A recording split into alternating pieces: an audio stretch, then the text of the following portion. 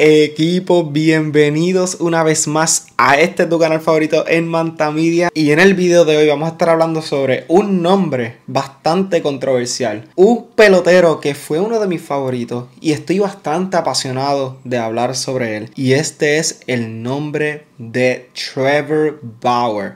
Y no sé si muchos de ustedes recuerden a Trevor Bauer, pero Trevor Bauer era un excelente lanzador inicialista del béisbol de grandes ligas Ganó el Cy en el 2020 lanzando para los Cincinnati Reds y wow, qué nombre controversial el de Trevor Bauer. Todos básicamente lo recordaremos o lo recordamos como un pelotero que ha tenido bastantes problemas en cuestión de disciplina dentro y aparentemente aparentemente fuera del terreno también. Y eso lo vamos a estar conversando en el video de hoy. Dentro del terreno, no sé si muchos de ustedes recuerdan, Terry Franco era su dirigente, una vez lo iba a sacar y él lanzó una bola por encima del centrofield. Con los Cincinnati Reds, pues era bien cocky, como dicen los gringos. Siempre estaba como que echándosela por encima de los demás peloteros de los demás equipos, mofando los bateadores que él les lanzaba. Con los Dodgers practicaba dinámicas como cerrando el ojo, haciendo así como si fuera una espada cuando poncha a un bateador de una forma bochornosa. Tú sabes, Trevor Bauer para empezar no es un pelotero bastante querido por los mismos peloteros de grandes ligas. Y no tan solo por los peloteros de grandes ligas, sino que también los fanáticos de la MLB. Muchos fanáticos pues para nada se llevan con Trevor Bauer. Y luego más aún con las acusaciones que ocurrieron fuera del terreno. Que como todos saben, para junio de la temporada 2021. Junio de la temporada 2021, un año después que ganó el Sayón, recién filmado el contrato de los Ángeles Dodgers, que era por tres años, alrededor de 120 millones de dólares. Trevor Bauer fue acusado por aparente y alegadamente violencia doméstica. Y esto es un caso bastante delicado que yo nunca lo había hablado en este tu canal favorito en Manta Media, que le pido que se suscriban si no están suscritos. Yo nunca había hablado sobre este caso en mi canal de YouTube, ya que es un caso bastante delicado y peculiar, porque cuando tú escuchas violencia doméstica, pues esto hay que tomarlo con suma precaución, ya que para nada aquí en este tu canal favorito en Manta Media promocionamos ni apoyamos nada que tenga que ver con violencia. Y como Trevor Bauer pues, era uno de mis lanzadores favoritos. Y el estar y el hecho de que él está involucrado en alguna acusación de violencia doméstica, pues automáticamente pues ya salió de la lista de mis peloteros favoritos automáticamente. Porque esto no son conductas que yo patrocinio ni apoyo, ¿sabes?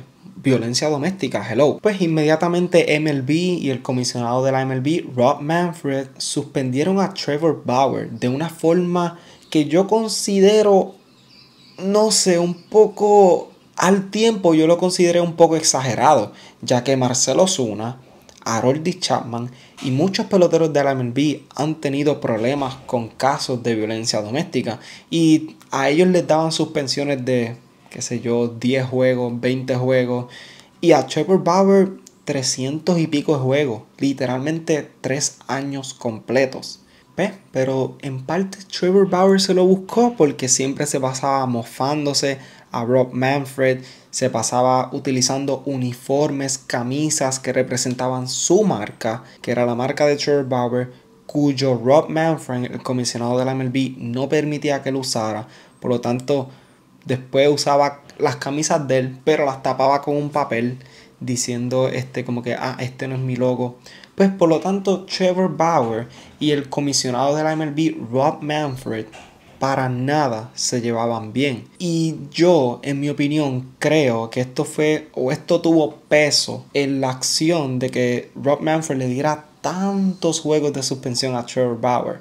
Pues no se llevaban. Rob Manfred y Trevor Bauer no se llevaban. Por lo tanto, en junio del 2021, inmediatamente cuando ocurre esto, Trevor Bauer dice, yo jamás he cometido violencia doméstica, yo soy inocente y esto fue visto en corte. Esto fue un proceso sumamente largo, de bastante vista, bastante juicio, tú sabes, toda esa cuestión jurídica y, y toda esa cuestión, ¿ves? Todo eso se vio a vista y al final del día, luego de un año o casi dos años después, se reporta que Trevor Bauer es inocente.